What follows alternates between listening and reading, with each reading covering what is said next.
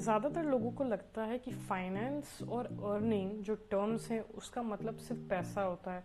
पर इन दोनों टर्म्स के बीच में जो बेसिक डिफरेंस है, उसका मतलब वो लोग नहीं जानते हैं। So in this video I be telling you about this finance का मतलब बेसिकली इन सिंपल होता है कि आप कैसे अपने पैसे को हैंडल करते हो और यूज़ करते हो।